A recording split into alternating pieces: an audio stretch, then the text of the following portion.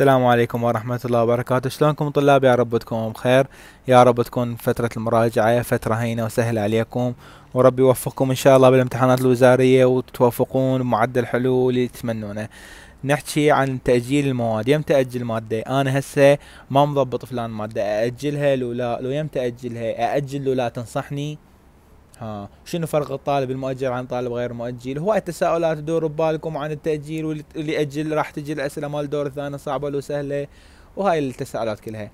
نصيحتي لكم إنه الطالب ما يفكر يأجل أي مادة لأن درجة الدور الأول اللي هي درجة على المعدل سبعة على المجموع سابقا من كان المواد سبعة. يعني هسه إذا المواد ستة هي ستة على المجموع وإذا رجع عن سبع مواد فهي سبعة على المجموع. المهم هي درجة على المعدل.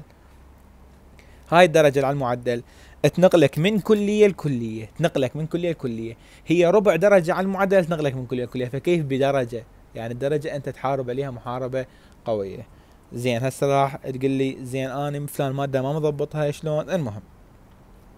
وقت التأجيل وقت التأجيل للمادة إذا أنت ناوي تطلع معدل 98 وفوق وقت تأجيلك للمادة هي إنه أنت من تدخل الامتحان تشوف نفسك إنه المادة ما تجيب بيها 90 وفوق تأجلها. 90 وجوا تفكر تأجلها.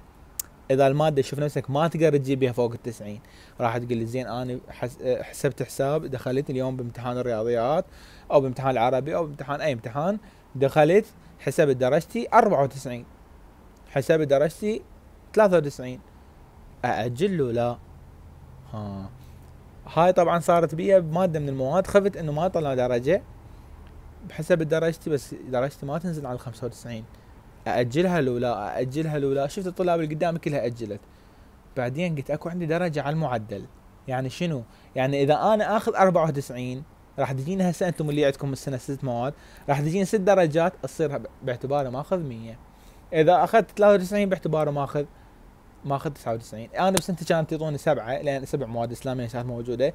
فاعتبر إنه أنا ماخذ المادة 100 ليش ليش أجلها؟ ليش أجلها وأفتقد؟ يعني أنا والدور الثاني نفس الشيء يعني أنا بالدور الثاني هاي المادة أنا هسه ماخذ بها 93 بالدور الثاني إذا أخذت 100 باعتباري نفس الشيء واضح الفكرة؟ باعتبار نفس الشيء ها زين بهالحالة انصحك إنه أنت إذا ماخذ 93 آه وفوق أو 90 وفوق لا تأجل. 90 وجوا تأجل بيوم الامتحان. بس هاي بشرط. بشرط إنه أنت باقي المواد كلها تأخذ بها درجة 99 وفوق. لأن أنت بعد ما تقدر تعوض درجة الدور الأول أنت خليتها مثلا للماده اللي مو زين بيها؟ يا مادة مو زين بيها. فيزياء كيمياء أحياء رياضيات إنجليزي المهم. فالتأجيل هذه نصيحتي لكم. أسئلة الدور الثاني أصعب من الدور الأول. كل الأسئلات أول وثاني وثالث دور أول وثاني وثالث هي أسئلة توضع موحدة وما عليها ما, ما يقولون هاي أول هاي ثاني هاي نسويها صعبة هاي نسويها سهلة. قد يكون الدور الأول تجي صعبة الثاني سهلة الدور الثاني صعبة الدور الأول سهلة. هيك اختيارية يعني يعني ما حددوا قالوا إحنا نسويها صعبة على العمود الدور الثاني.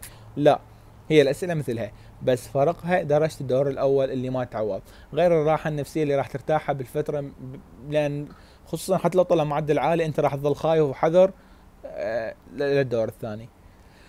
بعد يمتى تأجل إلا إذا أنت مادة لحد الآن ما شايفها وما تعرفها ما تعرفها وتشوف إنه إنه أنت مستحيل تطلع بها 90 وفوق مستحيل مستحيل تطلع بها 90 وفوق وأنت تلقى معدل 100 مستحيل تطلع بها درجة. هنا يلا تفكر تأجل بس بشرط إنه أنت باقي المواد كلهن تاخذ بهن 100 كلهن تاخذ بهن 100 لو 99 لو 98 إذا أنت معدلك 98 فما فوق.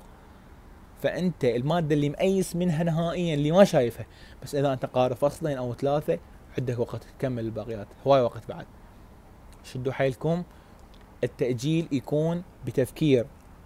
تأجل مو لأن شفت الطلاب أجلوا. صدقون بامتحان من الامتحانات كان الأحياء بسنتنا. بس ثلاثة بقينا بالقاعة نمتحن والقاعة كلها فرغت كلها أجلت. كلها أجلت القاعة. بس ثلاثة امتحنا. جبت درجة بيها.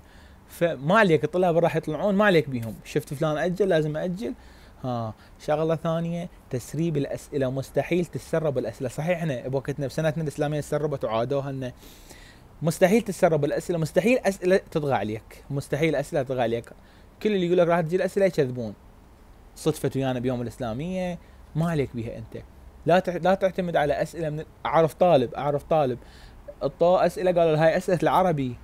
فهو كان باقي له موضوعين من الأدب وموضوع من القواعد. ما قرأهن نهائيا ما فتحهن. قال هي الاسئله بيدي. اجت إجن 20 درجة من هاي المواضيع العافن وأخذ 80 بالقواعد. ليش؟ لأن أعتمد على الأسئلة اللي اجته فما عليكم الأسئلة اللي تطلع ما عليكم. وأذكر بيوم بيوم العربي قالوا الأسئلة طلعت هم قبل الامتحان بساعة. قالوا طلعت هاك اقراها راجعها ولا اهتميت لهم. بس طلع سؤال قالوا هذا السؤال ما ينحل. حتى ما صدق أنا ردت احله ما عرفت احله قلت يا رب ما يجي يا رب ما يجي. طبيت الأسئلة. قالوا الأسئلة راح تجي بدايتها آه، أحمد مهدي الجواهر. محمد ما أتذكر يا هو المهم الجواهر لما تأرح ركابك. فباوعت الاسئله الحمد لله طلع مو الجواهري قلت هم زين مو مو نفس الأسئلة. فتسريب أسئلة ماكو ماكو ماكو. حتى وين وجد صعب يوصلك. يجوز يسربون هذول اللي يدفع فلوس. أنت أنت اللي, اللي يعني لا لا لا, لا عليها. شنو منين منين تحصل أسئلة؟ ويعني بنسبة قليلة تصير تسريب جزء ما يصير. فأنت يعني لا تعتمد على تسريب الأسئلة لأن أسئلة ماكو تسريب ماكو. هاي مرة ثانية أعيد وأقول مراجعة مركزة لا تعتمدون عليها. اعتمد على ملزمتك الأصلية وحاكيها بالفيديوهات السابقة ليش؟ شدوا حيلكم وأنصحكم. كلكم لا تأجلون. الدور الأول ماكو أحلى منه ماكو أحلى منه ماكو أحلى منه. شدوا حيلكم كلكم قبولكم واحد طبعا دور أول دور ثاني دور ثالث. بس أكو ثلاث مواد مفاضلة أعطيكم نصيحة. ثلاث مواد مفاضلة للمجموعة الطبية. يعني الأحياء والكيمياء والإنجليزي. يعني مثلا إذا أنتم اثنيناتكم حاشيها في فيديو مال المفاضله إذا أنتم اثنيناتكم معدلكم 99 وفلان كلية تقبل تريد لها بس طالب واحد. أنتم اثنيناتكم 99 هي قبلت هواي طلاب وصلت ل 99 تريد طالب واحد من ذول الاثنين. تشوف يا هو أعلى واحد من ذول الاثنين بالأحياء والكيمياء والإنجليزي تاخذ لها هاي المفاضلة. أحياء أو كيمياء وإنجليزي للاحيائي تطبيقي أتوقع رياضيات وفيزياء وما أدري عن مادة ثالثة اسألوا بها والادبي كذلك هم أكو مواد مفاضلة للكليات مالتكم. فالمجموعة الطبية ذن ثلاث مواد مفاضلة.